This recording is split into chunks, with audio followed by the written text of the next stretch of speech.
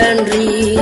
సమాధానకర్త ఆశ్చర్యాకరుడు ఆలోచనకర్త నిత్యుడగు తండ్రి. సమాధానకర్త తన వంటి గొప్ప దేవుడు ఎవరున్నారిలలో తన సాటైన దీటైన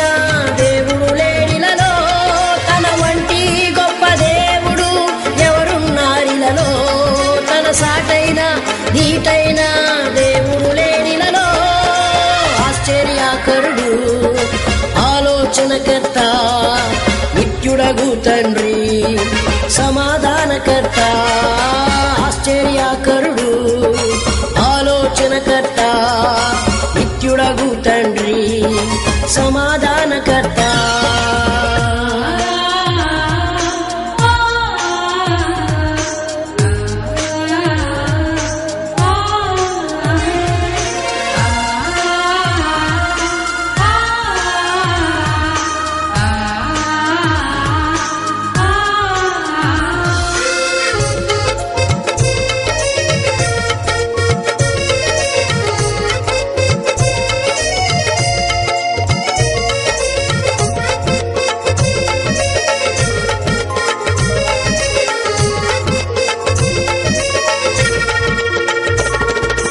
చేతిలో రోగాలు లయమైపోయెను. తన చూపుతో దయ్యాలు విలవిలలాడెను.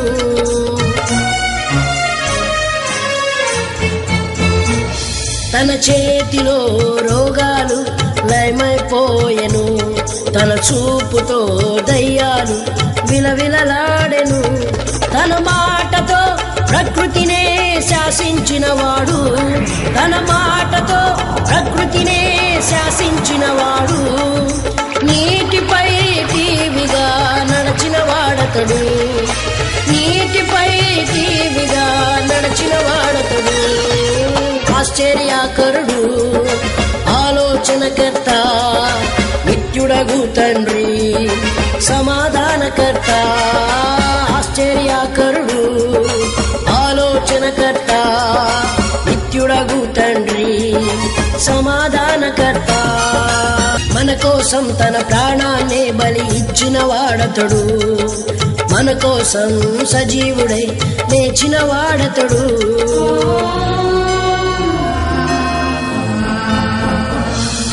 మన కోసం తన ప్రాణాన్నే బలి ఇచ్చిన వాడతడు. మన కోసం సజీవుడై లేచిన వాడతడు. తన శాంతినే పంచిపెట్టిన శాంతమూర్తి యేసు. తన శాంతినే పంచిపెట్టిన శాంతమూర్తి యేసు. తన సర్వాన్నే దారవోసిన త్యాగశీలి క్రీస్తు. తన సర్వాన్నే దారవోసిన త్యాగశీలి క్రీస్తు. ఆశ్చర్యకరుడు ఆలోచనకర్త నిత్యుడగు తండ్రి సమాధానకర్త. ఈ కార్యక్రమం వీక్షిస్తున్నటువంటి సహోదర సహోదరిమణులకు నా హృదయపూర్వక వందనాలు తెలియజేసుకుంటున్నాను. ఈరోజు అసలు సంఘానికి ఎందుకు వెళ్ళాలి అనే దాన్ని నేనే చూసుకుందాం. క్లుప్తంగా చూడండి మొట్టమొదటిగా కీర్తన గ్రంథం ఇరవై అధ్యాయం రెండవ వచనం చూసుకుందాం. ఆయన నీకు సహాయం చేయను గాక హ్మ్. సీనుల నుండి నిన్ను ఆదుకొను గాక పరిశుద్ధ స్థలము అన్న సియోను అన్న ఎరుషలేము అన్న దేనిని సూచిస్తుందండి? సంఘాన్ని సూచిస్తుంది. అంటే ఇప్పుడు సంఘములో నుండి ఆయన నిన్ను ఏం చేస్తాడంట? పరిశుద్ధ స్థలంలో నుండి ఆయన నీకు ఏం చేస్తాడంట? సహాయము చేయును గాక సియోనులో నుండి ఆయన నిన్ను ఆదుకొనును గాక. అంటే ఏంటి? సంఘానికి నువ్వు వెళితే సంఘములో సంఘ క్రమంలో నీకు ఏం చేస్తున్నాడంటే దేవుడు సహాయం పంపిస్తాడు అంటే నువ్వు సంఘానికి వెళ్తే నీకు ఏం కలుగుతుంది? సహాయము కలుగుతుంది. రెండోది ఏంటి? ఆదరణ కలుగుతుంది. నేను సంఘానికి ఎందుకు వెళ్ళాలి అంటుకుని? నేను నా దేవుని నుండి సహాయం పొందుకున్నట్లునో. నేను నా దేవుని చేత ఆదరింపబడినట్లునో. నేను ఎక్కడికి వెళ్ళనై ఉన్నాను? సంఘానికి వెళ్ళబద్దుడనై ఉన్నాను. కీర్తన గ్రంథం ఇరవై అధ్యాయం నాలుగో వచనం. నీ కోరికను సిద్ధింపజేసి అంటే ఏంటి? నా కోరికలు తీరినట్లు నేను సంఘానికి వెళ్ళబద్దుడనై ఉన్నాను. తర్వాత ఏం చేశాడంటే నా ఆలోచనలను సఫలం చేసి అంటే నా ఆలోచన సఫలమవడానికి నేను ఎక్కడికి వెళ్ళాలి? అంటే నా దేవుడు నా ఆలోచనలను నా హృదయ వాంఛలను తీర్చున్నట్లుగా నేను ఎక్కడ ఎక్కడ ఉండాలి?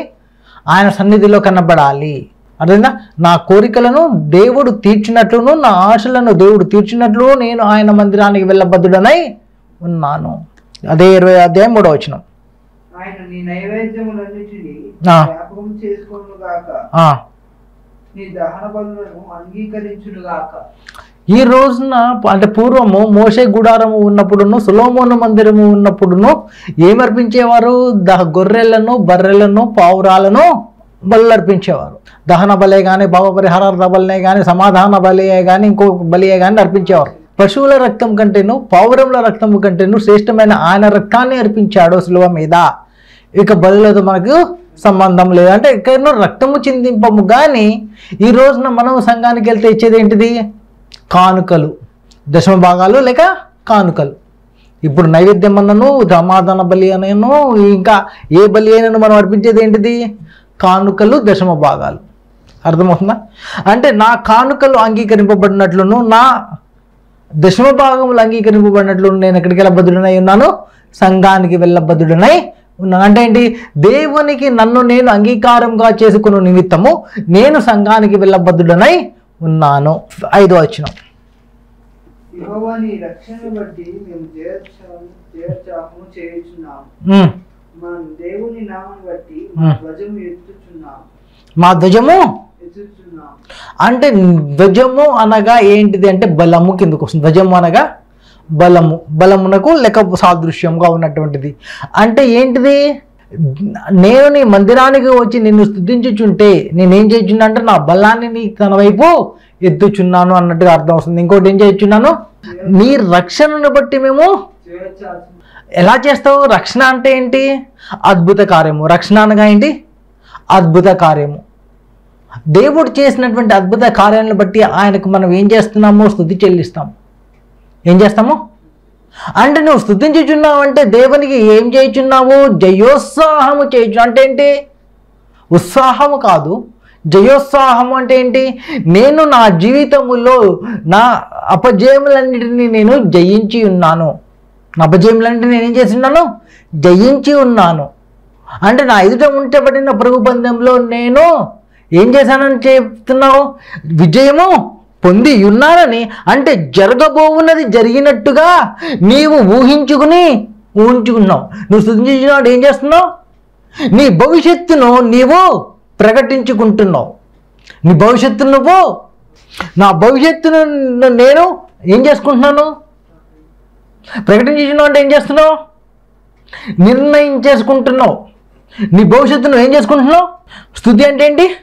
ఏదో పాటల? ఏం చేస్తున్నావు అంట నా భవిష్యత్తును నేను you are declaring your situation prior situation before it happens అంటే your in the judgement seat judgement సీట్లో కూర్చుని ఏం జడ్జిమెంట్ చేసుకుంటున్నావు నీ భవిష్యత్తుని గురించి? ఐశ్వర్యం హరించినను ఆరోగ్యం క్షీణించినను నీవుంటే నాకు చాలు ఏసయ్యా. అంటే ఏంటి? ఆరోగ్యం క్షీణించిన రోడ్డు మీద దిక్కుంటా పాక్కుంటా ఉంటున్నా అడుక్కుంటా ఉంటున్నా నీ ఉంటే నాకు చాలు ఏసయ్యా అది నీ దర్శనం. దాన్ని హెచ్చిస్తున్నావు అంటే నీ దేన్నైతే హెచ్చిస్తావు దాన్ని పొందుకుంటావు. నీవేదైతే ముందుగానే ప్రకటించుకుంటున్నావు నీ జీవితం అదే నెరవేరుతుంది. అందుకే జీవన మరణాలు దేని వశం అంటున్నాడు? నాలుక వశం అంటున్నాడు. ఈ నాలుకను ఉపయోగించి నీవు నీ భవిష్యత్తుని ఏమనుకుంటున్నా? ఆరోగ్యం క్షీణించినను. ఆ? ఇంకోటి క్షీణించిన మళ్ళీ ఏదైనా ఒక చిన్న నిప్పత్తి చాలు. ఏ ఇది నాకే ఎందుకు వచ్చింది అంటావు? ఇది నాకే? ఎందుకు వచ్చిందని ఎడుతావు పాట ఏం పాడుతున్నా? ఆరోగ్యం క్షీణించినను ఐశ్వర్యం హరించినను నీవు ఉంటే నాకు చాలు ఏసే ఆయన బీదోడు. వేసుకోవడానికి బట్టలు లేవు. నీ దేవుడుకి బట్టలు లేవు. అటుంటోడు నీ దేవుడు. మహోన్నతుడు కాదు. మహాదరిద్రుడు. నా ఆత్మ ఎక్కడ ఉన్నదో అక్కడ విడుదల ఉందంటున్నాడు? లేకపోతే ఏమంటున్నాడు? అంటే నీకు నీ పరిస్థితులలో నీకు విడుదలనిచ్చేవాడు నీ దేవుడా? నీ లేకపోతే నీ పరిస్థితులలో నేను బంధించేవాడు నీ దేవుడా? యహో ఆశీర్వాదం నొందినవాడు ఐశ్వర్యమును పొందుకుంటాడా లేదా ఐశ్వర్యాన్ని విడిచిపెడతాడా? యహోవా ఆశీర్వాదం ఐశ్వర్యం ఇస్తుందా లేకపోతే ఏమి ఇస్తుంది దరిద్రాన్ని ఇస్తుందా? మరి నువ్వు పాడుతున్నది ఏంటిది? దరిద్రాన్ని దరిద్రం నాకు అమితమైన ఇష్టమైన అని పాటలు పాడి ఐశ్వర్యం కావాలి. ఎలా అవుతుంది మరి? నీ హృదయ వాంఛకి నీ నోటి మాటలకి ఏం లేదు. పొంది కుదట్లా నీకేం డబ్బులు రావాలని బాగా ఆశ ఉంటుంది. పాడి దరిద్ర పాటలు పాడతావు. ఐశ్వర్యం అవుతుంది. డబ్బు అన్ని అవసరాలకి ఏం చేస్తుంది? అక్కడికి వస్తుందా లేకపోతే అక్కడికి రాదా? డబ్బు అన్నిటికీ అక్కడికి వస్తుందని వాక్యం సెలవిస్తుందా లేకపోతే బయట ఎవడైనా సెలవిస్తున్నాడా? వాక్యమే సెలవిస్తుంది కదా ఐశ్వర్యం అన్నిటికీ? ఏహో ఆశీర్వాదం ఐశ్వర్యం ఇస్తుంది అంటున్నాడా పోతుంది అంటున్నాడా అంటే ఇప్పుడు దేవుణ్ణి అసలు అక్కడ ఏమంటున్నాడు? జయోత్సాహం ఎప్పుడు చేస్తాం అసలు? ఎవడైనా జయోత్సాహం ఎప్పుడు చేస్తాడు? శత్రువులను జయించినప్పుడు. ఎవరిని? ఇక్కడ ఏమంటున్నాడు? ఇరవై ఐదులో? రక్షణను బట్టి అంటే ఆల్రెడీ రక్షణను ఇచ్చేసాడంట రక్షింపలేదంట. అంటే రక్షించాడంటే దేని నుండి రక్షిస్తాడు రక్షణకర్త? శత్రువుల నుండి బలహీనతల నుండి వ్యసనాల నుండి. అవునా కదా? శరీర కార్యాల నుండి నేత్రాశల నుండి జీవపడంబం నుండే కదా? ఆయన రక్షించేది? ఇంకో దాని నుండా ఆయన యుద్ధ నుండి ఇవే రావంట? శరీరాశ నేత్రాశ జీవపడంబాలు నా యుద్ధ నుండి వచ్చినవి కావు అంటున్నాడు. అంటే ఇప్పుడు రక్షణకర్త రక్షిస్తాడంటే దేని నుండి రక్షిస్తాడు? నేత్రాశ శరీరాశ జీవపడంబం ఇవి ఎక్కడున్నవి? లోకంలో ఉన్నాయి. లోకంలో ఎవడున్నాడు? శత్రువు అనేవాడు ఉన్నాడు అంటే ఈ లోకంలోని శత్రువు నువ్వు జయించడానికి లేకపోతే నేను నీ మీద జయం పొందుకున్నానని వాడి ముందు నువ్వు ప్రకటించి ఆర్భాటించి దానిని సొంతం చేసుకున్నట్లుగా నువ్వు దేవుని ఏం చేయబద్దుడవై ఉన్నావు? స్థుతింపబద్ధుడవై ఉన్నావు. అంటే నువ్వు జయోత్సాహం చేస్తున్నావు అంటే అంటే నువ్వు శుద్ధిస్తున్నావు అంటే ఈ శత్రువుకి మీద ఏం చెప్తున్నావు? అరే నా శత్రువులారా నా మీద మీరు ఉత్సాహింపకుండా నేను మిమ్మల్ని జయించి ఉన్నానని చెప్తున్నావు. దరిద్రం శత్రువు నీకు ఇంకోట? ఆరోగ్యం క్షీణించినను ఐశ్వర్యం హరించినను నీ ఉంటే నాకు చాలా వేసేంటి? ఆయన ఎవడు? అనారోగ్యానికి దరిద్రానికి పెద్దపీడ వేయవాడు. అవునా కదా? అంటే దేవుడు ప్రధాన యాజకుడే ఈ దేనికి ప్రధాన యాజకుడు? ఇప్పుడు ఈ పాటలు దరిద్రానికి అనారోగ్యానికి ప్రధాన యాజకుడు ఆయన. అవునా? ఆయన ఆరోగ్యం కలుగజేయవాడా లేకపోతే అనారోగ్యం కలుగజేయవాడా నాకు తెలిసినంత వరకు ఆయన దగ్గరికి ఎవడైనా ఏ రోగి అయినాడు ఏ విధమైన పరిస్థితుల్లో కుష్ఠరోగంతో వచ్చినా రక్తస్రావంతో వచ్చినా మరణించినా ఆయన లేపడం లేదా? అంటే ఆయన ఆరోగ్యాన్ని ఇచ్చివాడా? అనారోగ్యాన్ని ఇచ్చివాడా? అంటే నీ ఏ బలహీనత దేవుని దగ్గరికి వచ్చినా ఆ బలహీనతలో నిన్ను విడిపించేవాడు నీ దేవుడు కానీ ఆ బలహీనతలో నిన్ను పెట్టి ఇంకా నిన్ను ఆ బలహీనతలో బంధించేవాడా? అంటే నీ ఈ పాటను పాడుతున్నావు అంటే నీ దేవుడి గురించి నీకు ఏమీ తెలియదు అని అర్థం. ఆయన సన్నిధిలో ఒక మాట ఉంటుంది. అపవిత్రమైన వాటిని మీ పెదవులో గుండా పలకొద్దంటాడా పలకమంటాడా? అపవిత్రమైనటువంటి వాటి పేర్లను మీరు ఉచ్చరింపకూడదు అంటాడు. అంటే ఏంటి? అపరిశుద్ధమైనది మీ పెదవుల గుండా రాకూడదు.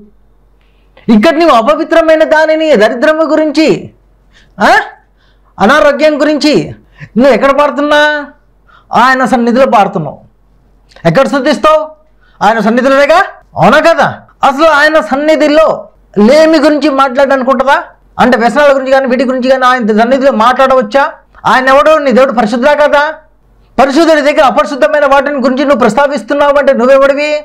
పరమా అపవిత్రుడివి. పరమ అపవిత్రుడికి పవిత్రుడికి మధ్య సంబంధం ఏముంటుంది? దైవానికి దైవముతోటే సంబంధం.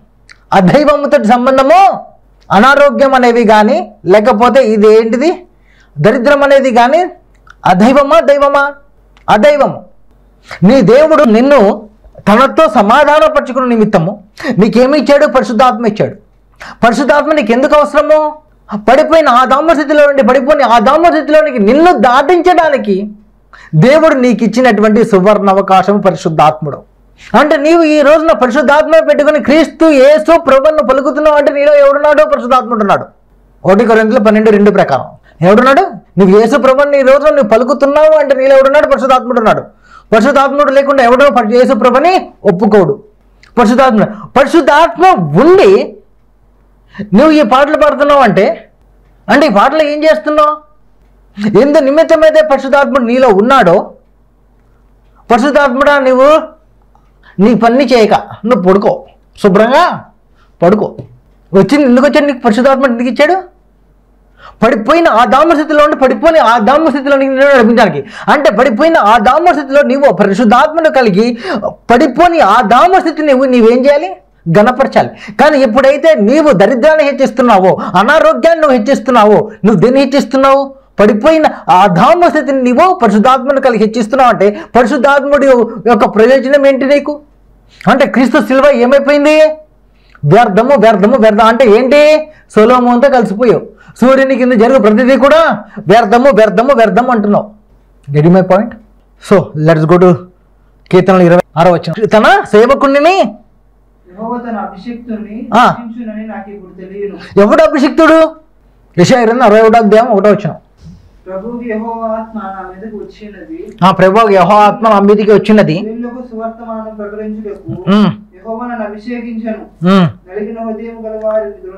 వద్దు చాలు కానీ ఇక్కడ అభిషిక్తుడు అంటున్నాడు ఆయన. నేను అభిషిక్తుడు అంటున్నాడు. ఎవరి గురించి చెప్తున్నాడు ఇది? ఈ వచనము క్రీస్తుని గురించి చెప్తున్నాడు. ఎప్పుడు అభిషిక్తుడు అయ్యడానికి ఆత్మ వచ్చి ఉన్నది అంటున్నాడు. ఆత్మ ఎప్పుడు వచ్చింది? ఎప్పుడైతే యేసు బాప్తిస్మం తీసుకుని ఒడ్డునకు వచ్చిచున్నాడో పరిశుద్ధాత్ముడు పౌరం వల్ల ఆయన మీదకి వచ్చి ఉన్నాడు. అంటే ఆయన ఎప్పుడైతే పరిశుద్ధాత్ముడు పౌరం రూపంలో ఆయన మీదకి వచ్చి ఆయన ఎవడంట? అభిషిక్తుడు. ఈ రోజున నీవు నీలో పరిశుద్ధాత్మను కలిగి ఉన్నావంటే నీవెవడివి? అభిషిక్తుడివి. అభిషిక్తుడివి అంటే నీవు దేనికోసము రక్షణ కొరకు కనిపెట్టినట్లు. అంటే ఎవడు? అంటే రక్షణ అంటే ఏంటి ఇక్కడ? లూకాస్ వార్త ఒకటో అధ్యాయం అరవై నుంచి డెబ్బై వరకు ఒకటి చోట. అక్కడ వాటిలో మన్నా అని ఉంటుంది చూడు. మన శత్రువుల మన చేతి నుండి మనం ద్వేషించు వారందరి శత్రువుల నుండి తప్పించి రక్షణ కలుగజేశాను ఆగండి ఆగండి. అంటే ఇప్పుడు ఎందుకు వచ్చిందంటే క్రీస్తు మన శత్రువుల చేతిలో నుండి మనలను దూషించి వారి చేతిలో నుండి తప్పింపను ఈ రక్షణ అనుగ్రహించని అంటుంది. అంటే ఏంటి? వాటి నుండి తప్పించబట్టు అంటే ఏంటి? నీ శత్రువుల చేతిలో నుండి అంటే రక్షణ అంటే ఏంటి ఇప్పుడు? మన శత్రువుల చేతిలో నుండి మనల్ని దూషించి వారి చేతిలో నుండి విడిపించుట బడుట రక్షణ. మన శత్రువు ఎవడు? ప్రతి వ్యసనము మన శత్రువు. ప్రతి వ్యసనము మన శత్రువు. ప్రతి ఇబ్బంది మన శత్రువు. ప్రతి అపాయము మన శత్రువు. అంటే ఏంటి? మనలను ఏలుబడి చేయనది ఏది ఉండకూడదు. మనమే సమస్తాన్ని ఏలుబడి చేయాలి అని దేవుడు ఉద్దేశించున్నాడు అవునా? అంటే సమస్తమును మన చేతుల కింద ఉండాలి. సమస్తమును మన అధీనంలో ఉండాలి. అందుకు దేవుడు నిన్ను పిలిస్తే సమస్తంలో నీ ఆధీనంలో ఉండడానికి నువ్వు దేన్ని హెచ్చిస్తున్నా? అనారోగ్యాన్ని దరిద్రాన్ని హెచ్చిస్తున్నావు. ఆ పాట పాడి. నీ దేవుడు ఎక్కడ ఉంటే అక్కడ అక్కడ స్వతంత్రం ఉంటుందా? లేకపోతే బంధకాలు ఉంటాయా? దేవుని ఆత్మ ఎక్కడ ఉండను? అక్కడ బంధకములు వర్ధిల్లును అంటున్నాడా? దేవుని ఆత్మ ఎక్కడ ఉండను? అక్కడ విడుదల ఉంటుందా ఉండదా? మరి నువ్వు విడుదలను కోరుకుంటున్నావు? ఇక్కడ బంధం బంధింపబడ్డాన్ని కోరుకుంటున్నావా? ఇర్మియా గ్రంథం పదో అధ్యాయం పద్నాలుగో వచ్చిన తెలివిలేని ప్రతిపాడును పశుప్రాయుడు అంటాడు. తెలివిలేని ప్రతిపాడును పశుప్రాయుడు. అది చాలు నాకు ఒక చాలు. తెలివిలేని ప్రతివాడుని ఎవడు? పశుప్రాయుడు. పశుప్రాయుడు అంటే ఏంటి? ప్రాయానికి రాని పశువు అంటే ఏంటి? పాలు ఇవ్వనిది. దున్నడానికి కానీ ఏ కాడిని కానీ మోయడానికి పనికిరాని ఇంకా వయసుకు రాలా. ఇంకా వయసుకి అంటే ఏంటి? పిల్ల పశు పిల్ల. ఒక విధంగా చెప్పాలంటే పశు పిల్ల. ప్రాయానికి రానిది. అంటే వయసుకు రానిది. అంటే దానివల్ల ఏ ప్రయోజనము? లేదు. పాట అంటే నీ భవిష్యత్తును నువ్వు ప్రకటించుకుంటున్నావు. నీ భవిష్యత్తును నువ్వు ఏం చేసుకుంటున్నా? నువ్వు ప్రకటించుకున్న దాన్ని నువ్వేం చేస్తావు? చూస్తావు. నీ భవిష్యత్తును నువ్వు ప్రకటించుకుంటున్న పాట అంటే ఆ ప్రకటించుకున్న దాన్ని నువ్వేం చేస్తావు? పొందుకుంటావు. క్రీస్తు పలుక్కున్నాడు నేను ఫలానా ఫలానా ఫలానా ఫలానా అని. అవునా కదా? దాన్నే నెరవేర్చుకుంటా పోయాడా? క్రీస్తుతో ఇంకొకటి నెరవేర్చుకుంటా పోయాడా? సిలువల్లో ఆయన ఏం మాట్లాడితే పలికాడు అంతకు ముందు రాయబడి ఉన్నవా? లేకపోతే కొత్తగా మాట్లాడాడు ఏమన్నా? ఎవరికైతే వాక్యం వచ్చినదో వాడు ఏమేమో దైవము? దైవము ఏం పలుక్కుంటే దాన్నే చూసుకుంటాడు. నీకు ఒకసారి వాక్- వాక్యం విన్న తర్వాత నీవు దైవానివి నీవు దైవముగా ఉండి నువ్వు ఏమైతే పలుక్కుంటున్నావో దాన్నే నువ్వు చూసుకుంటావు. జీవన మరణం దేని వశము? నాలుగు వశం ఈ నాలుగు ఉపయోగించి ఏం పలుకున్నావు బాధ ద్వారా? ఇంతకుముందు ఏం పలుక్కున్నాను? ఈ క్షణము నుండి ఈ వర్తమానం విన్న దగ్గర నుండి మీరు మంచి మాటలు పలుక్కుని భవిష్యత్తును మీ మంచిగా తీర్చుకుందురుగాక. అతి జ్ఞానమును వివేకమును దేవుడు మీకు అనుగ్రహించునుగాక. గాక కీర్తన గ్రంథం ఇరవై ఒకటో అధ్యాయం రెండవ వచనం. మనోభీష్టం సఫలము చేయించున్నావు. అంటే ఏంటి? ఎప్పుడైతే నువ్వు స్థుతిస్తున్నావో దేవుడు ఏమంటున్నాడు? తదాస్తు తదాస్తు తదాస్తు అంటున్నాడు అక్కడి నుంచి. నువ్వు పొందుకున్నది ఏంటి? నువ్వు ఆ పాట పాడుతున్నావు అంటే నీ మనోభిష్టం ఏంటి? ఆయన నీ మనోభిష్టాన్ని సఫలం చేయవాడు. ఈ పాట నువ్వు పాడుతుండగా ఆయన తదాస్తు తదాస్తు అంటే నువ్వు పొందుకునేది ఏంటిది? అదే ఇరవై అధ్యాయం నాలుగో వచ్చిన ఇంకోసారి చదువున్నాను నీ కోరికను సిద్ధింపచేసి ఉమ్. నీ ఆలోచన యావత్తును సఫలపరచును గాక. అంటే నా ఆలోచన సఫలపరచున్నట్లు అంటే ఏంటి? నీకు ఐశ్వర్యం కావాలన్నా నీకు బలం కావాలన్నా అదంతా ఎక్కడ ఉందంట? నీకు కావాల్సిన ఆరోగ్య నీ ఆరోగ్యము నీ బలము నీ యొక్క ఆస్తి వెయ్యి ఎకరాలు కావాలా రెండు వేల ఎకరాలు కావాలా అసలు ఏ నీకు ఏది కావాలన్నా నీకు అది ఎక్కడుందంట ఆయన సన్నిధిలో ఉందంట. కాబట్టి నీవు ఆశపడినది నీ జీవితంలో నెరవేరినట్లు నీ హృదయ వాంఛలు ఏమైనప్పటికీ నీ హృదయ వాంఛలు తీర్చబడటానికి నువ్వు ఎక్కడికి రాబద్దుడవైనావు సంఘానికి రాబద్దుడవై ఉన్నావు. కీర్తన గ్రంథం పదమూడో అధ్యాయం ఐదో వచ్చిన నేనైతే నీ కృపయందు రక్షణ విషయమే నా హృదయం హర్షించుచున్నది. నీ రక్షణ హృదయమే నా హృదయము? అంటే ఏంటో? స్థుతించుచున్నావు అంటే నీ దేవుని నిన్ను స్థుతించుచున్నావు అంటే నీ హృదయం ఏం చేయించున్నదంట సంతోషగానం చేస్తుంది లేకపోతే ఏడుస్తుందా? అంటే స్థుతి నువ్వు దేవుణ్ణి స్థుతించి వాడవైతే నీ హృదయం ఏం చేయాలంట? హర్షించాలంటే. సంతోషం వెళ్ళి విరవాలి సంతోషము అంటే స్థుతికి ఒక ప్రణాళిక ఉంది. ఏం చేయాలి? నీ హృదయాన్ని సంతోషింపచేయడానికి. అంటే నీ హృదయాన్ని సంతోషింపచేసుకోవడానికి నీవు నీ దేవుణ్ణి స్థుతించబడుతుడవై ఉన్నావు. కీర్తన గ్రంథం పద్నాలుగో అధ్యాయం ఒకటి నుంచి ముందు చూడనా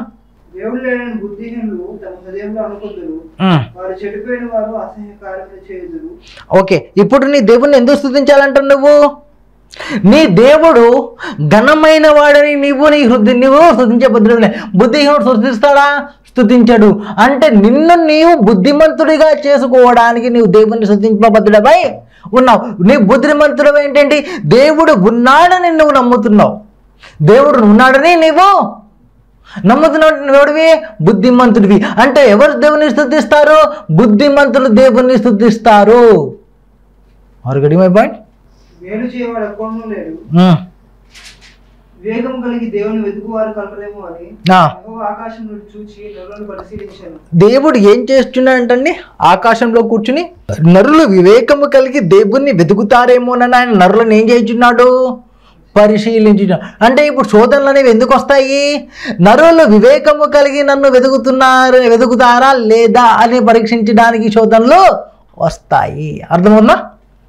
ఇంకా మనందరూ దారి దొరికి బొత్తిగా చెడి ఉన్నారు ఆ, మేలు చేయవాడు ఎవరినూ లేడు అంటే ఏంటి ఒక్కసారి దేవుణ్ణి నీవు స్థుతించుచున్నావు అంటే నేను నువ్వు ఏం చేసుకుంటున్నావు? దారిలో ఉంచుకుంటున్నావు. దారిలో? అంటే ఏంటి? సంఘానికి రానటువంటి వారందరూ ఎవరు? దారి తొలగి బొత్తిగా చెడిపోయి ఉన్నారు. చెడు కార్యములు చేయువారు. అంటే సంఘానికి వచ్చి నీవు ఏం చేయుచున్నావు?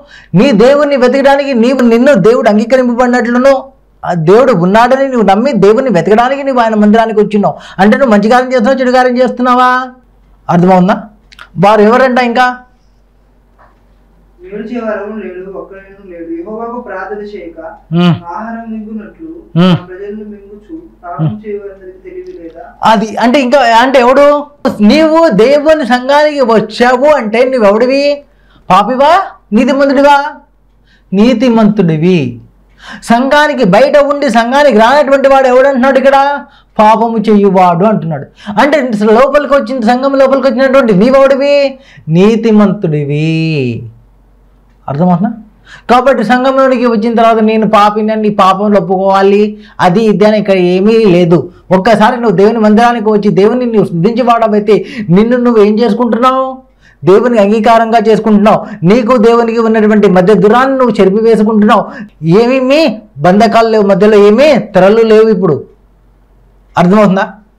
అంటే నీవు దేవుని మందిరానికి వచ్చి నీవు దేవుని స్థుతించుచున్నావు అంటే అసలు నువ్వేం చేసుకుంటున్నావు? నీకు దేవునికి మధ్య ఉన్న దురాన్ని చెరిపి వేసుకుంటున్నావు. నాకు నా దేవునికి మధ్య ఏ ఇటువంటి తడకలు కట్టెన్లు డోర్లు లేవని ఈ లోకవాదికి నువ్వు ఏం చేయుచున్నావు?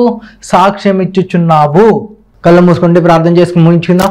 పరిశుద్ధ పరమాత్ముడ పరమర్శ సంపడమైన దేవా ఆశ్చర్యకరుడా ఆలోచనకర్త త్రియేక దేవ ఆది సంభూతుడ మహాగణుడ మహాపరిశుద్ధుడానికి వందనములు. ఇదిగో నా తండ్రి ఏ యోగ్యత లేకపోయినట్టు కేవలం మీరు నన్ను ఇక్కడ ఉంచి ప్రభుత్వం తండ్రి ప్రభా నాయన ఈ కొద్దిసేపు మిమ్మల్ని సృజించడానికి మీ మందిరంలో ఉన్నటువంటి ప్రయోజనాలను ఒకసారి మరలా జ్ఞాపకం చేసుకోవడానికి తండ్రి ప్రభ నీ ప్రసన్నత తండ్రి నీ సన్నిధి మాకెంత అవసరమై ఉన్నదో నీ సన్నిధిలో ఏమేమి ఉన్నాయో ఈ ఉదయకాల సమయంలో తెలుసుకోవడానికి మీరు మాకు నాకు ఇచ్చిన తరుణానికే నీకు వందనాలు. తండ్రి ఎందరైతే ఈ కార్యక్రమం వీక్షించుచున్నారో పరమ తండ్రి మీ సన్నిధిలో ఉన్నటువంటి మీ వెలుగును మీ ప్రశాంతతను మీ పరిశుద్ధతను తెలుసుకుని ఇంకా మిమ్మల్ని ఎక్కువగా గణపరచడానికి హెచ్చించడానికి ఇంకా ఎక్కువగా జయోత్సవం చేయడానికి తండ్రి వారి యొక్క హృదయాలను వారు సంతోషింపచేసుకోవడానికి